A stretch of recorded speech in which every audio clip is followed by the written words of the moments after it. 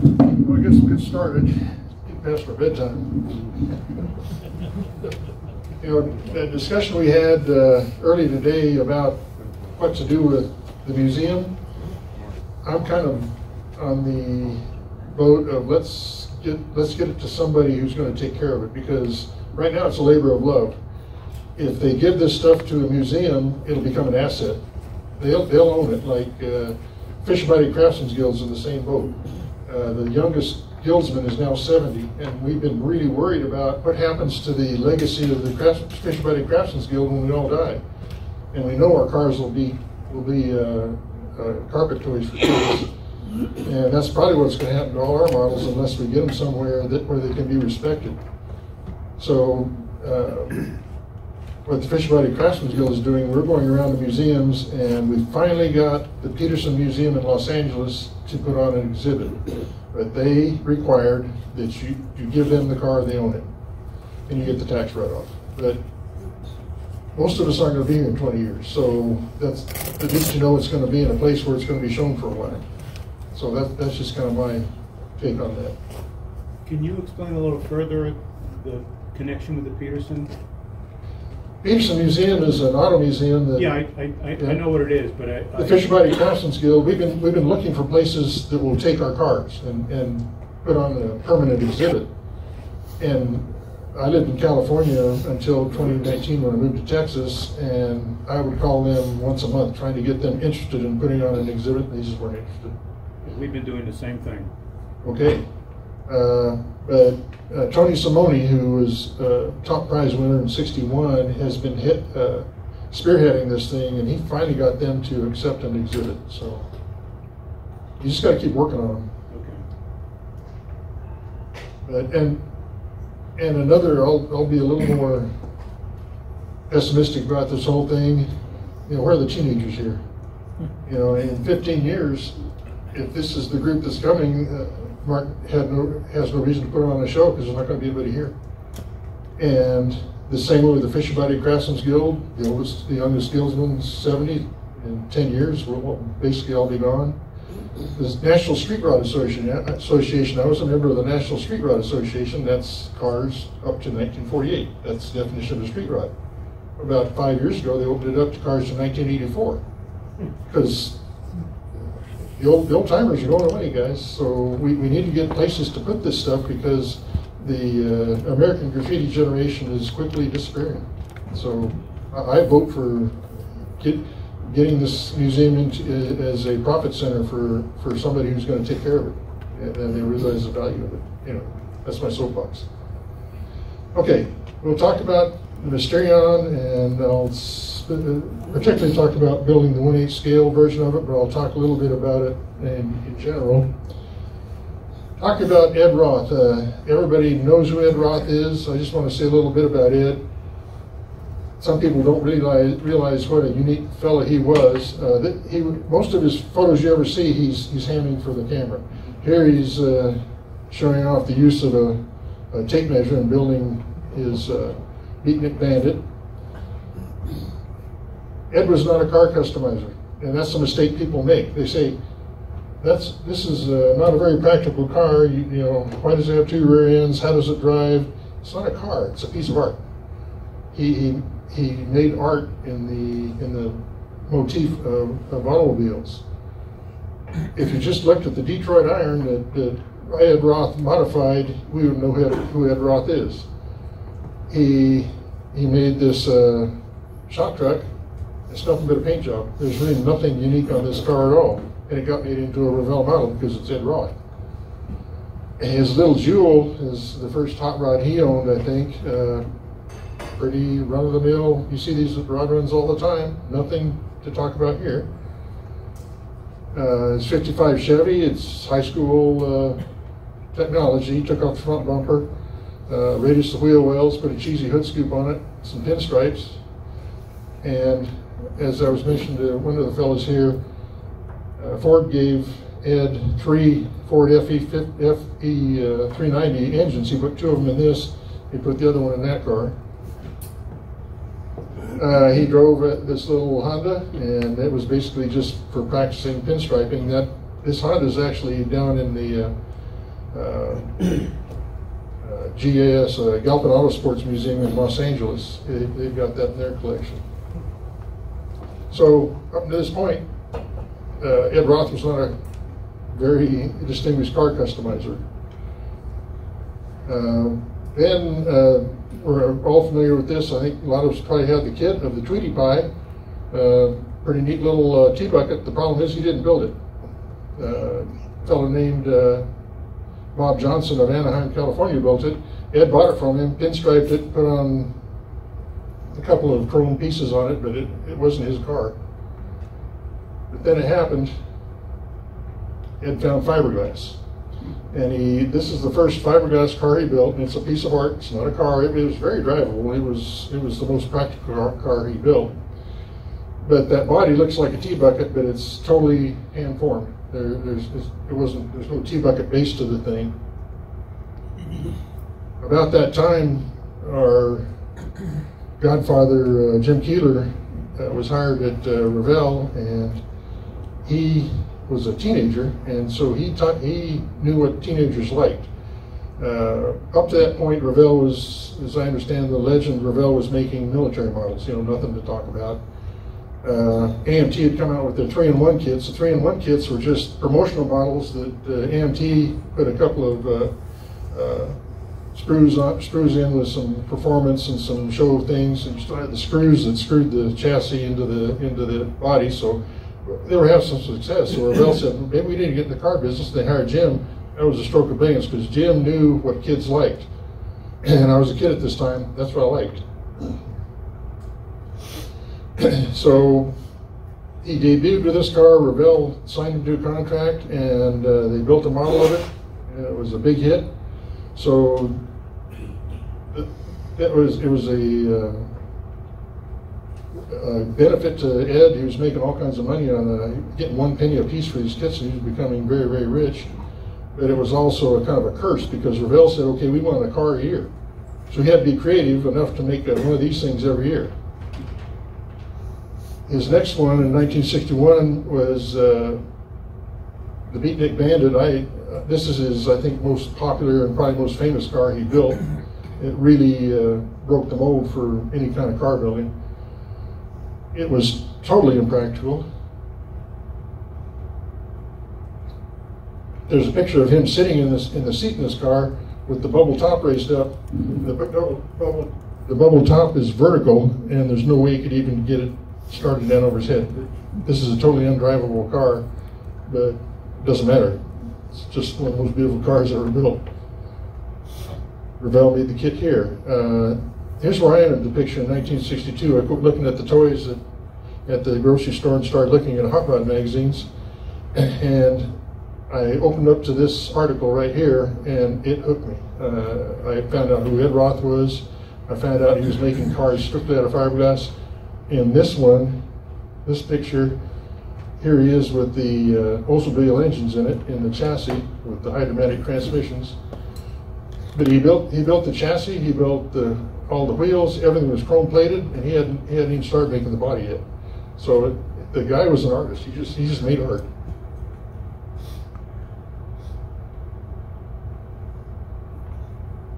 This was the second installment in that magazine series. Uh, a few months later, and it's showing him making the body. Again, this hooked me too, uh, making plaster body and then putting fiberglass on it.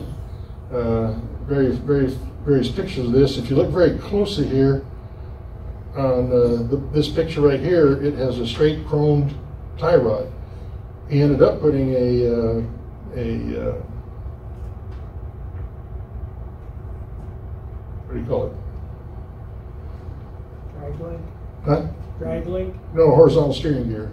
What do you call it? rack and Track pinion. Rack and pinion. My part-time is getting to me. He ended up with a rack and pinion on it, but he started out with with uh, just a straight chrome tie rod. So he was he was building he was inventing this as he was building it.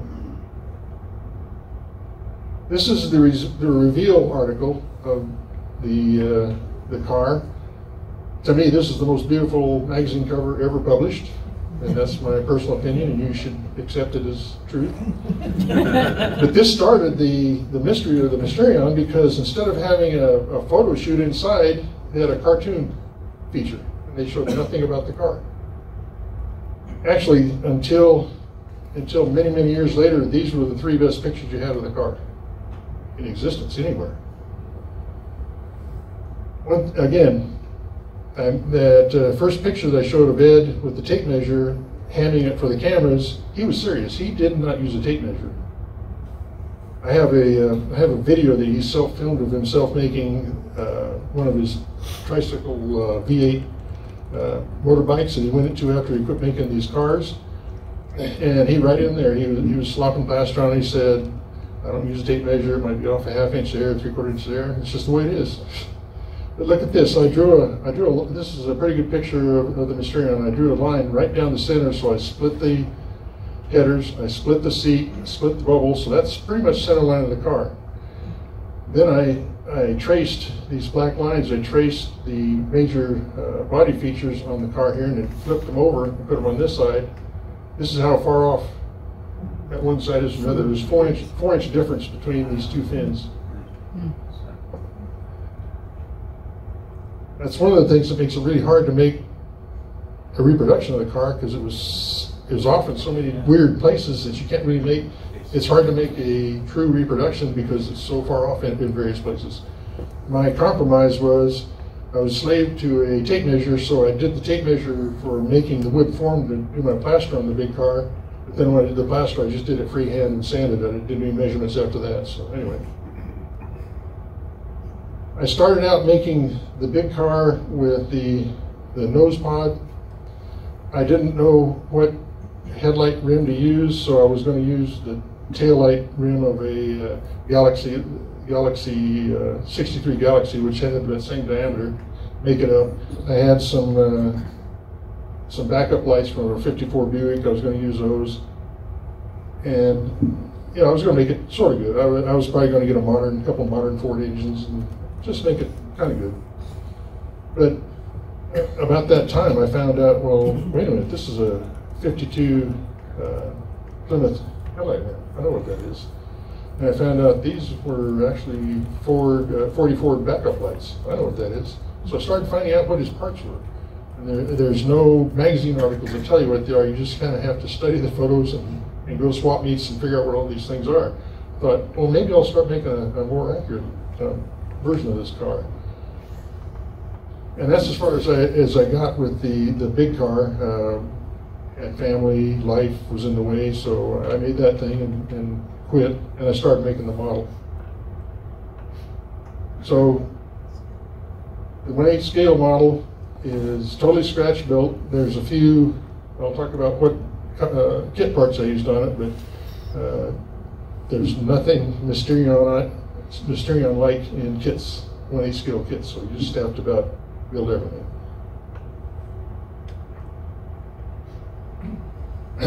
I'll talk about how it made all the parts. This is as far as I got, scaling it off the uh, uh, Revell kit, and it, it finally dawned on me, I don't know enough about this car to do the details right.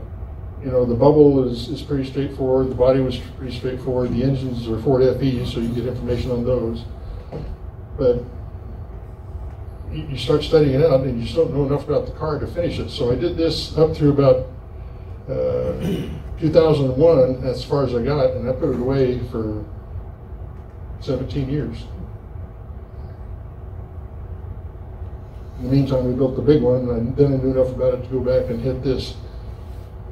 The dimensions I got for the model, I just uh, Xeroxed the uh, Revell uh, parts, blew them up to 1 8 scale, and then that's how what I used to carve the bucks and make the, the, the frame. The notations you see on here, I took these drawings and scaled them up for the one-to-one version, so I built the 1 8 scale body before I built the one-to-one body. First step was to carve uh, sugar, pine pattern, that's up here. Uh, uh, it's the same way that uh, if you go to the museum, the body that uh, they that Revell used for making their plastic model, the carved wood body is down there, and it looks real similar to what I did here. The uh, the nose piece I carved in three pieces. and I'll talk about the bubble a little later. The next thing I did was uh, make fiberglass molds off of this, and made it a, they made them come apart at the obvious body line so it could be taken apart and uh, reassembled. And I just used a hardware store uh, mat and resin. Uh, all those body parts are clamped together, and then the body is laid in there in one piece. So you have a one-piece body. The uh, nose pieces were all uh, laid up in separate pieces and then glued together. There's some there's some errors in this thing I had to fix after I learned more about the car. Got the whole thing together. Now to make the frame rails, the best I could find in scaling this this car was that Ed used some sort of seven inch by two inch channel. And I don't know exactly what he used. All I could find uh, in the uh, craft stores was three quarter inch, which is six inch, and uh, seven eighths, which is seven, uh, seven inch, or uh, one inch, which is uh, eight inches. And so I used, I, I made them in, I made two sets. I made one in three quarter and one in one inch and three quarter bit better. So these are not quite to scale. I made up these, these patterns here. So I, took some square tubing, put a stick inside the square tubing, ran it through my table saw, so I got the one and quarter inch wide rail. And that rail sits down in these grooves here, and then I put on my drill press and I get my holes evenly spaced and square and everything. And I made this jig to uh, make the two cuts for the uh, dog leg and the frame, so they both came out exactly the same. This is the pattern up here for blowing the bubble, um, and I literally blow, blew the bubble. Uh, this frame has the base shape of the bubble, soldered these little two uh, uh, limits here to keep to make those little sight bubbles that he had put in his uh, top. This piece right here is just a, a, limit to keep the bubble, you know, see how high to blow the bubble. Uh, if you do this, be warned that if your bubble comes up here and touches that, it blows the bubble up, so stay below it. Anyway, just drill a bunch of holes, sandwich a piece of uh, 16th inch uh, uh, plexiglass in there, and there's a pipe right in here that, that goes in underneath the underneath the uh, plastic. I just put silicone in here to keep from leaking air. Put it in the oven, heat it up to 425 degrees or so until you see the, the plastic start to sag. Pull out of the oven, put a little rubber hose on there, blow on it, pop it up. I did about five or six of them. It was so much fun. Okay, for this, this black surround around the windshield here, I took one of my plastic bubbles, right? Hey, oops, keep hitting the wrong buttons. I took one of the plastic bubbles and I, I put the shape on here in, in Bondo, about proud of the bubble about an eighth of an inch. Then I took a uh, plaster cast of, of, that, and then I took a Bondo cast of the plaster, and then I could use a heat gun to use quarter inch round uh, plastic to, to make the surround. Okay, the digit on the back of the of the Mysterion, I laid it on there in, in Bondo, cast it in uh, uh, silicone rubber, backed that up with some plaster, made a little cap right here so you, I could pour these. I poured one in uh, urethane. I'll talk about the urethane I used to, to cast this with. I didn't really need to do this. I was I did this assuming I was going to start making kits. I'm not going to make kits, so I could make more of them. But I only needed one. Okay, obviously used some kit parts, and you'd think Big T's were the ones that I used, but I actually used more of the uh, uh, Lindberg Big Red Rod.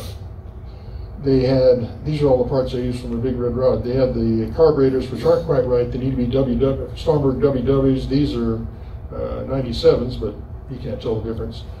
But they had the air cleaners with the helmet that had the bump, bump up helmet instead of the concave helmet. That was the proper one to use. I used their distributors, all their pulleys, and the rear end. I'll talk about the rear end a little later. From the Big Deuce, I used these parts. I used the engine block, the heads, and the and the front cover. And the heads are, are similar to a Ford FE with the exhaust ports outside the head, where Chevys have the exhaust ports in the water jacket. So all I had to do is modify this a little bit, uh, cut the bell housing off of these and modify them a little bit, and uh, I could make, I use those to cast the engine parts. Here's all the molds I made for the engine parts. That was the easy part, was the, the plastic parts. Uh, the rest of the parts, the transmissions, the valve cover, the oil pan. Let's see, this is, I think this is the intake manifold being cast right now. And the valve cover and the bell housing, I carved all those out of wood and then cast, made uh, silicone rubber castings of those from the silicone rubber molds. I cast the urethane parts. Here's all the parts that I, I cast from my molds to, to make the two engines. And all, all those molds are up here. You can look at. You can handle all these molds. They're, they're pretty tough.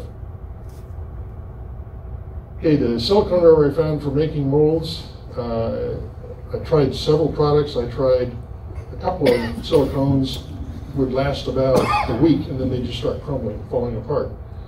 Uh, I tried using uh, urethane rubber.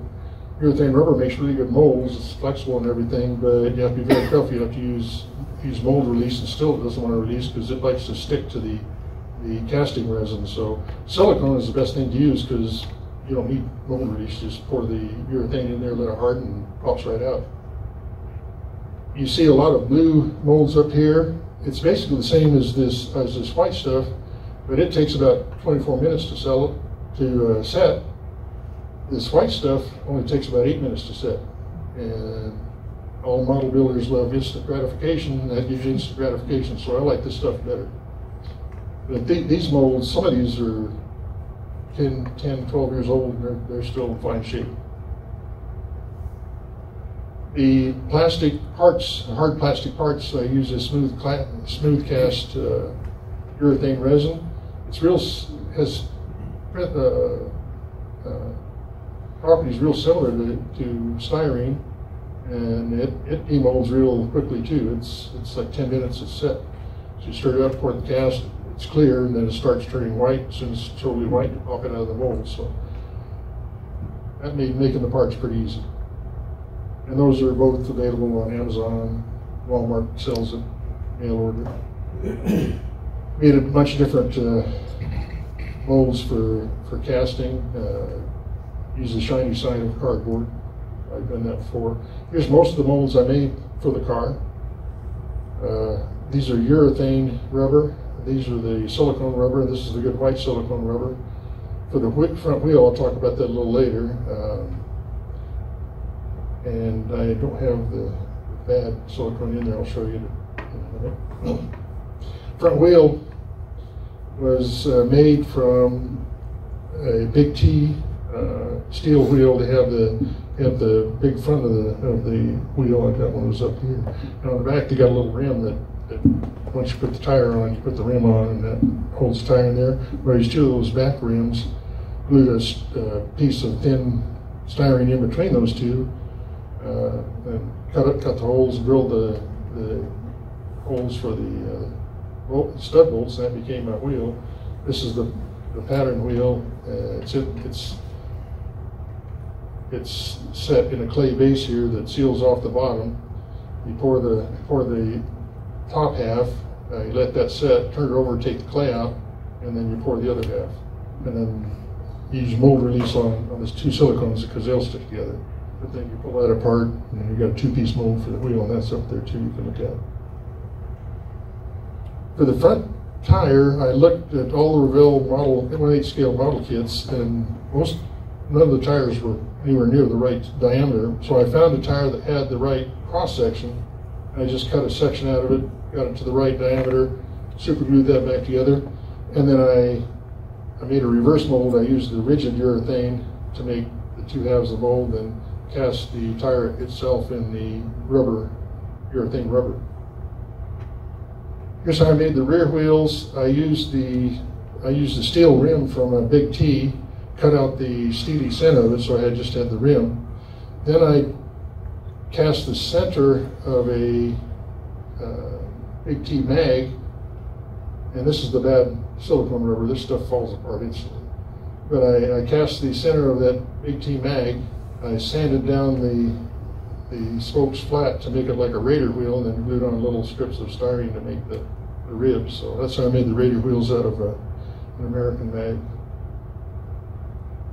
The rear tires uh, in the, in the Revell parts packs are a scale uh, eight inches wide, they're an inch wide. They need to be a scale 10 inches wide. So I just cut the tread, uh, shoved in some clear plastic, or just plastic tubing, and filled it full of uh, hardware store uh, black urethane, sanded that down, and I got my white tires.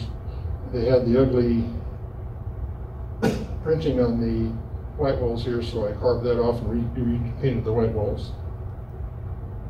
I was gonna, I was thinking about making a plastic, uh, using a, a big T axle and uh, building up in plastic, making, taking a rubber mold of that, or plaster mold, and then casting a metal axle. But I said I'll fabricate the axle, so I cut the axle out of 3 16 steel or brass uh, on the bandsaw, made up the spindles using these three pieces, and this little spacer there is to get the, the camber right. Uh, silver soldered them together and then just filed them to shape.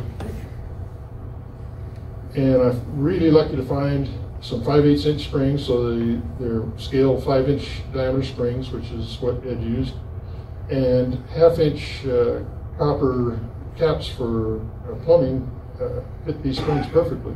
Just had to shorten the cap down a little, it was a little too tall. Cut these springs in half and they were exactly the right length, so that was pretty easy. Then it's just a matter of soldering that all together and a lot of filing and sanding. The, the pin just drops in here and, gravity holds in there.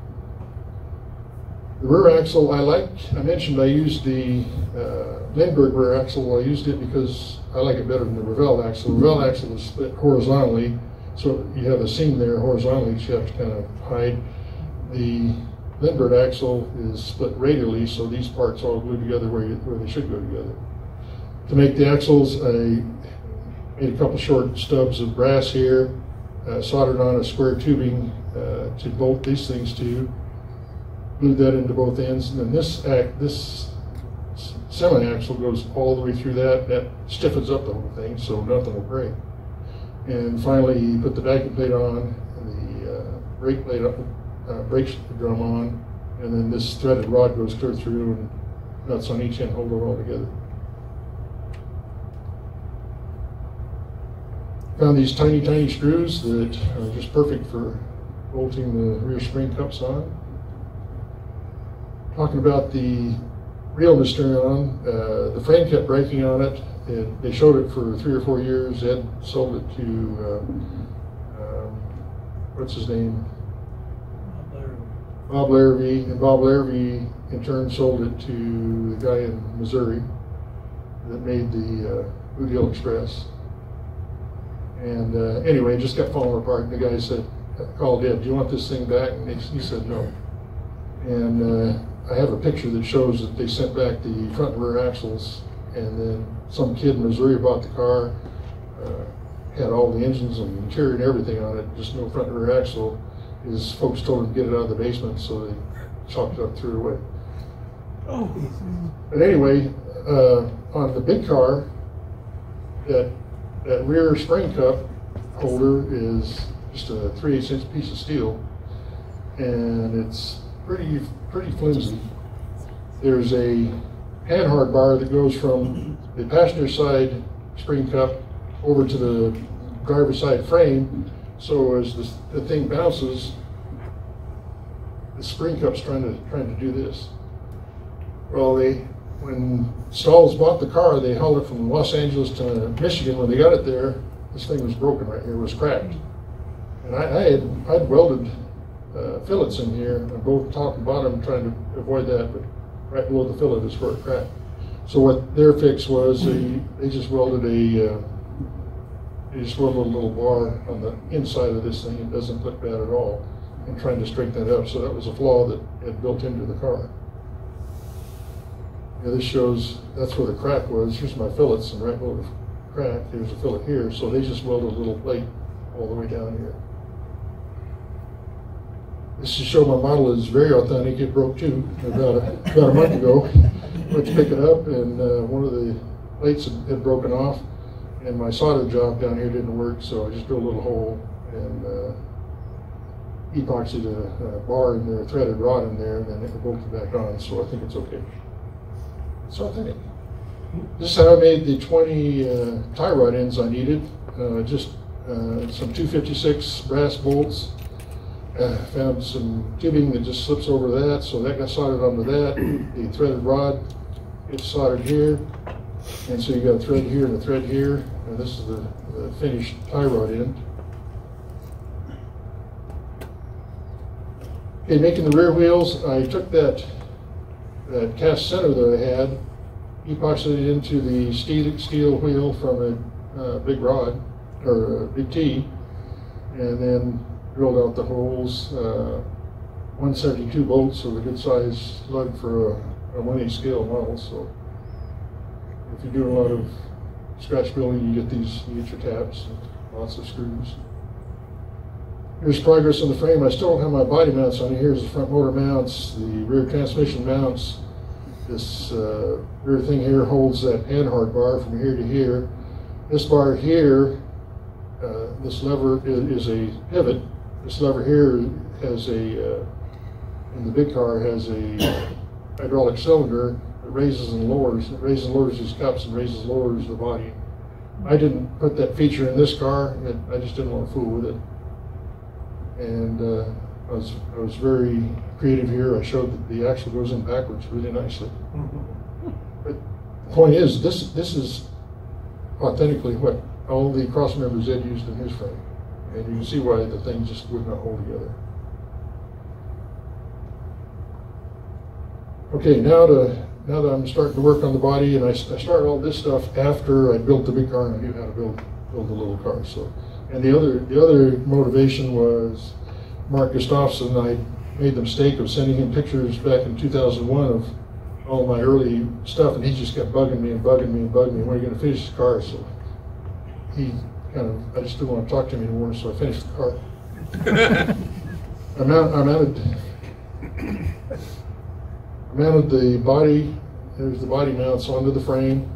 Uh, once it was mounted on the frame, I glued the plastic bubble in and the digit in, and I could finally cut the, uh, the rim out of the car. Uh, made up a hinge uh, for the back, uh, used 440 bolts on the body and the hinge on the, uh, top. And this pin's removable so I can take it apart or just on both these things, no big deal there. to make the body or the interior, now that I, my body was bolted to the, uh, I can bolt it to the frame and my engines and transmissions are all in, now I can start making the, the interior. So I made the, the floor plate, I just a thin layer of clay on top of the transmissions and, and uh,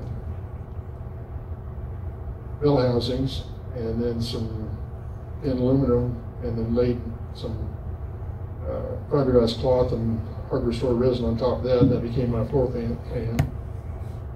Once that's done, then I bolted the body back on and then laid modeling clay in there and got the shapes I needed and just uh, coated that with fiberglass and there I had my interior. Will make a real good Rorschach test. This is looking inside and this is looking outside. It's hard to tell what's going on here, but show that I did it. The seat is just a wood carving.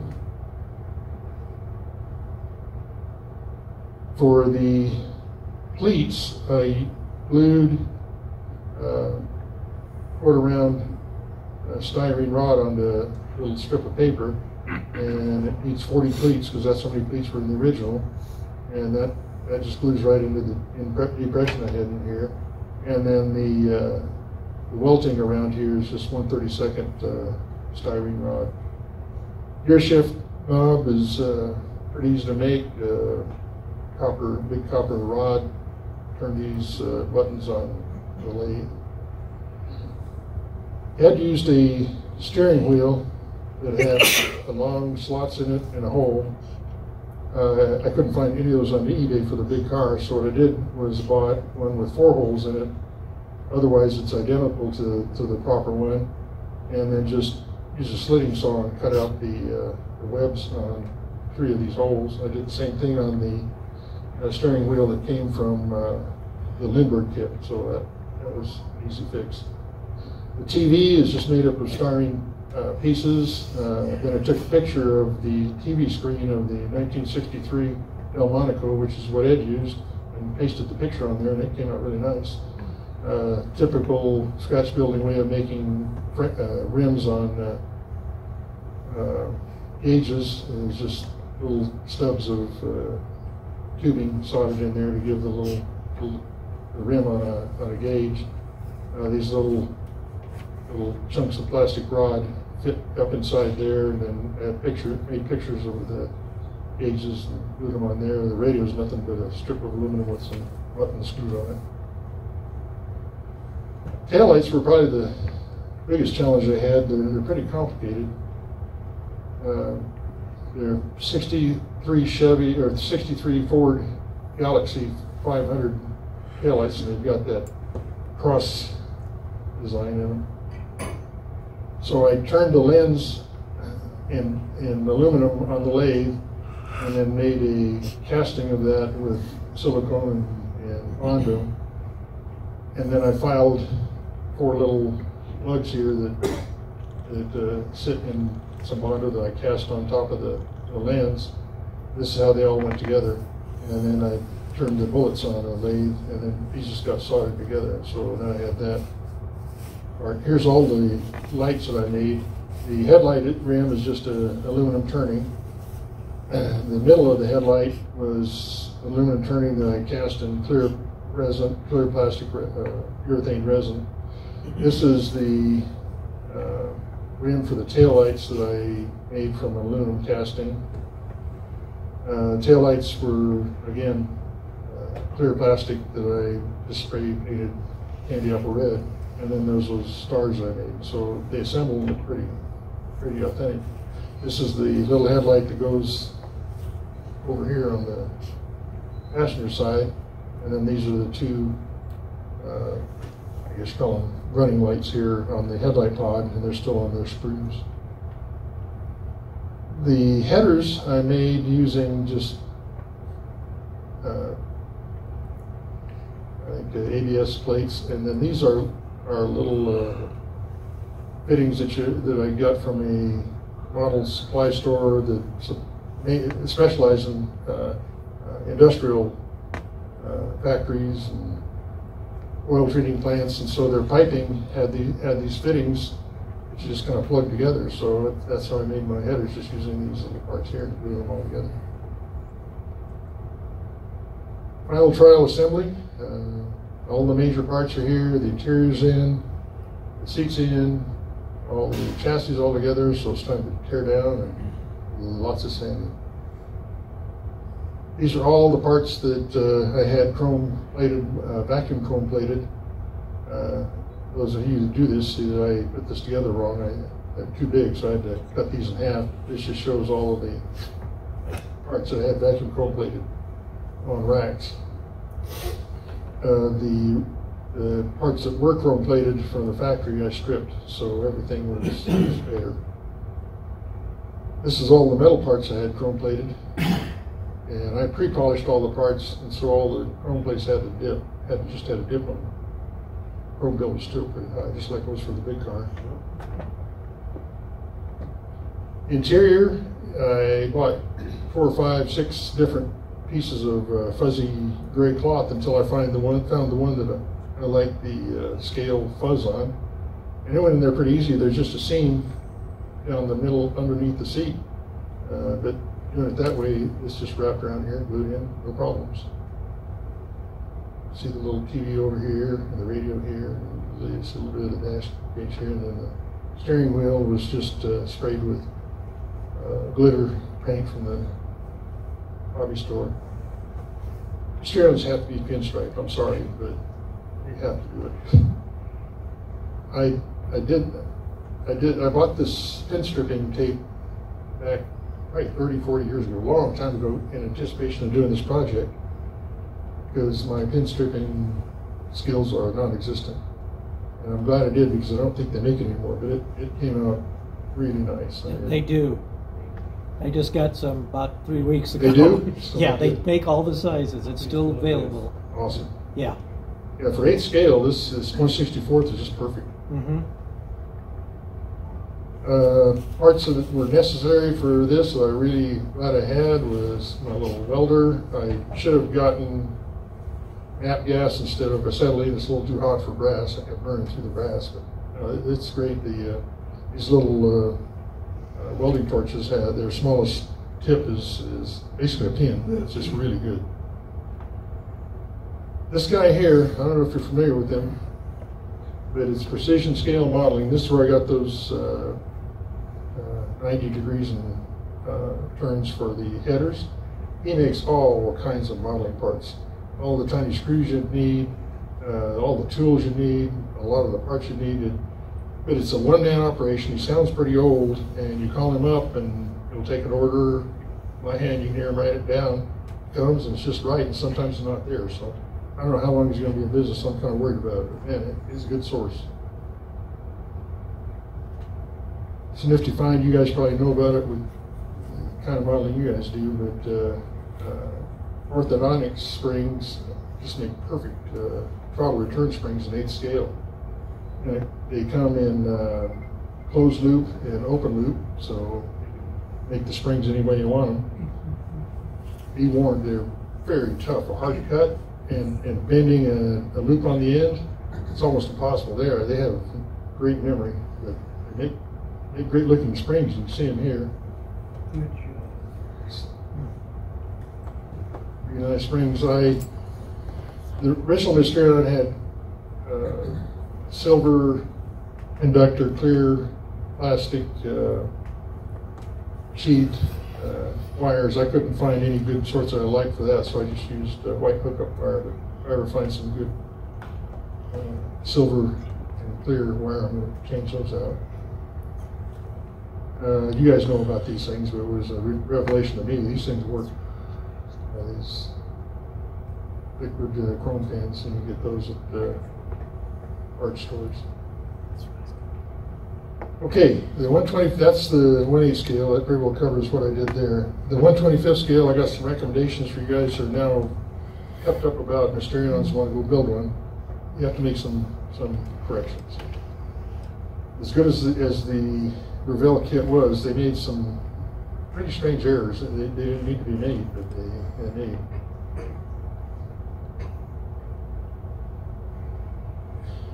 First one is the nose pod has quite a few errors. Uh, if you if you look at the factory one, I, I built up one here. This is just a box build, and then this is one with all the changes that I recommend making on them.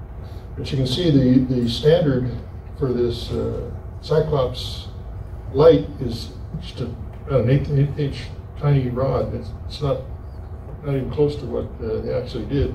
So what I did is I just drilled some holes in the in the pod and in the in the uh, uh, shroud, drill, uh, glued some some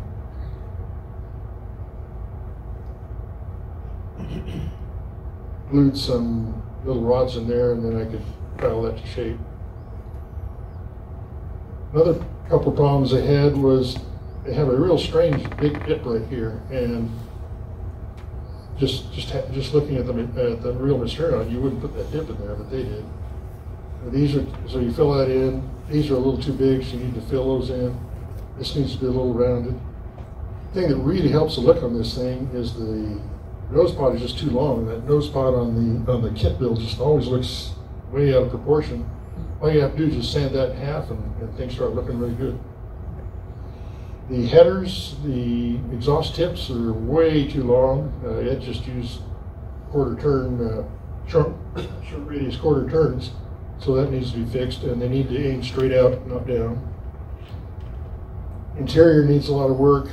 they they put in some really strange squared off corners in here. It needs to be snug right to the seat, so a lot of Bondo goes in there. And the TV just has its face hanging out. No part of the TV shows or the radio.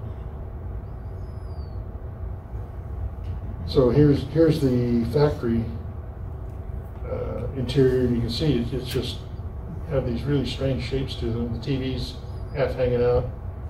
You need to round this off a little bit, round this off a little bit, slide the seat clear back, and then fill in the uh, shapes here, and then embed the TV and the radio. Their gear shift knob uh, in the kit looks like a uh, tapper handle for a Coors beer. It's a triangular shaped thing. I don't know why they did that. So just a chunk of clear plastic screw and a pin, you fix that problem. Okay, this looks complicated, but it's not. I got a I got a good side picture of the real Mysterion, and I got a good side picture of a model. And, and all these lines here are just to scale the thing. So I, I made this exactly the same size as this. The holes here match the holes here. So this matches this. The circles on the tires. All that stuff is noise. Just just to make sure that the sizes were exactly the pictures were exactly the same the thing that counts are the blue lines. I drew uh, blue lines on around all the major uh, body features on the big car, and then in this purple solid purple line, I did the same thing for for the model. Then I took this blue line here and transferred it down here, and you can see the, the blue line shows that the the tail was a lot taller and the, the dash is a lot shorter. And I found a, a pivot point right here, so I cut the body right here. I cut this little wedge out of the top here, so this got down like here, and I had a gap here that I filled in with plastic. And that way I have the high rear end and the low front end like it should have. This is just what the inside of the body looks like. Uh, also, you need to hold the tire up there and radius this. This is too flat in the, in the kit box. I glued some parts on here to make these scoops a little bigger. They're a little too small in the model. Thing that bugs me about the the model kit and uh, Johnny Lightning and Hot Wheels took their model, their design for their little uh, die-cast from the model kit. Is this thing's this shape right here is too flat. This needs to be a 90 degree angle right here. So what I did was I cut this off right here to here, cut that off. And here's here's the distance between the, this little bubble and the surround. Uh, ground, uh, filed it off and polished it. Then I glued a piece of styrene in here, and this is the, how the distance should be. So that gets that shape right. That's always bugged me about that model uh, painted it blue.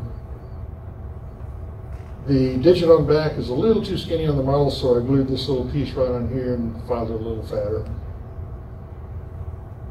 Um, on the original on the original Mysterion, Ed had these holes drilled right here, and he mounted his rear uh, forelinks in between in between right under a hole instead of in between the holes. I think he drilled this hole and ordered these too short, so he just drilled another hole and put that in there.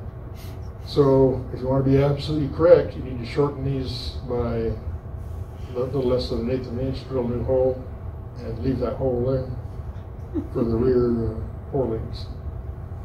The front hubs are a little too bulky on the model. You need to sand these a lot thinner, the main flange, and sand these down as, as small a diameter as you can get.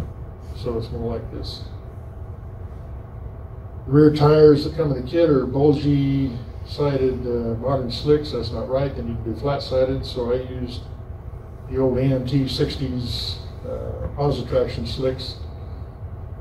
And they are scale uh, 8 inch, need to be 10 inch. So I sliced part of one off and glued it onto the other one to get them 10 inches wide. Had to carve out the center a little bit because the wheel doesn't quite fit. Uh, I don't know if you're familiar with this tool, but it's pretty neat for making uh, stick-on sidewalls. It's a little compass with a uh, X-Acto blade on it. Flip around a couple times, you got really good white sidewalls. You have to try to paint them.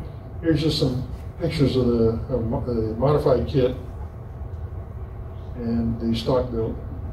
And you can see they have to have the you just have to. The shape here looks a lot better. The holes here look a lot better.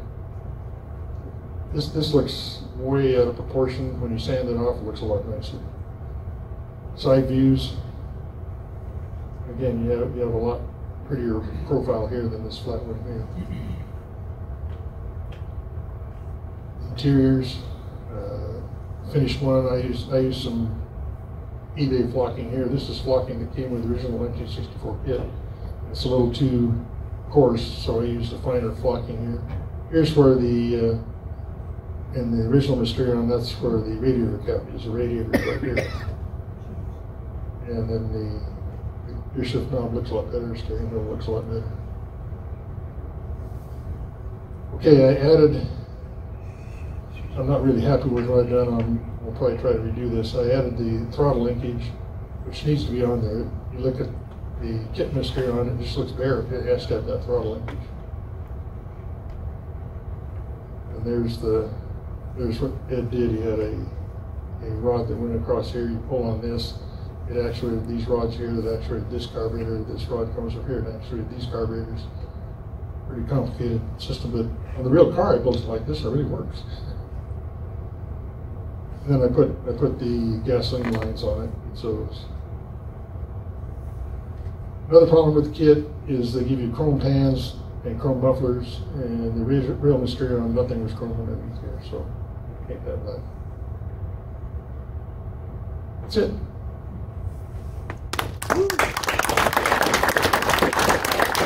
Any questions? Uh, You can come up here and, and handle all these, uh, pattern parts, they're all tough. Yeah. One of your first pictures, you had a center line, and it was offset in the front.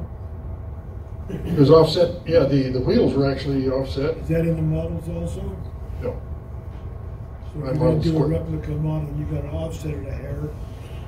I, I didn't, I didn't put any of that offset in my car or the model. I see, thank you. Yeah. I, I, I'm just showing that Ed was a freeform artist. He, he just was a freeform artist and When did he ever, yeah, I, thank I'm, you. I'm constrained by a tape measure. I'm an engineer. What can I do?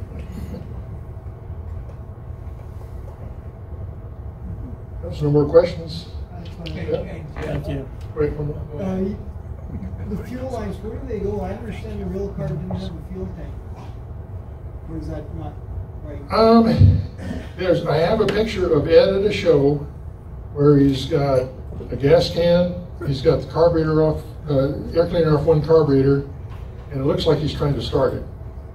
And Oscar Kabelski, uh, I called him and talked to him. He, he went out, there's a little Auto World uh, pamphlet where he talks about and shows pictures of Ed when he was building the Mysterion. Talks about going out and visiting Ed and hearing it run. I called him. He said, "Yeah, I think they ran." So I think they did run. I my gas tank is just a little, like one gallon tank.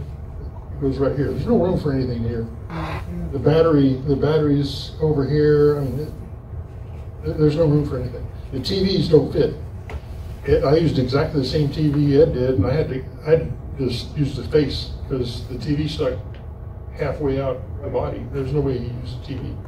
So there's no room on this for anything. There was a picture and Here's Your Hobby Hot Rodding that had the, the gas tank and said it was fur lined as well.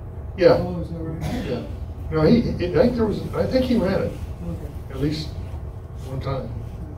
Then he had to take all the guts out of the engine, all the guts out of the transmission, just trying to lighten it up so the frame wouldn't break, and that still didn't work. so. Is that when the frame broke when he was on road? Um, it, it's just driving around in a, in a, in the, in the trailer, that, that was just driving it from California, my car to California to, uh, Michigan, broke the frame. And he said just driving around in the, in the truck destroyed the car. Can you tell us about the yellow paint for the body? Okay, yellow paint for the body. Most people are gonna spray their model testers yellow, or he- They had uh, Ed Roth colors, Ed Roth yellow. It's basically lemon yellow. It's not the right color. The paint job, I did a lot of investigations on this, is a white base uh, and a pearl coat, and then it's called uh, lime green uh, candy. I found House of Color still made this stuff. And so it's actually a candy, candy apple paint job. And this stuff, this lime green paint, is, it looks lemon yellow here, but if you spray it over silver, it- it's got a green tint. Spray it over white, it's yellow. When I sprayed it, when I sprayed my car, I took a picture of it and, uh, in the booth after I'd finished painting it, and I went and looked at my pictures, and that's lime green. So it's a weird color, but no, it's a candy apple yellow.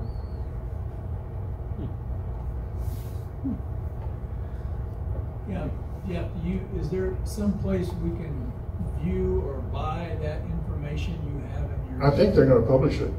Yeah. Yeah, this whole slideshow will be up there, and then you can give me a call anytime. Good. No big deal.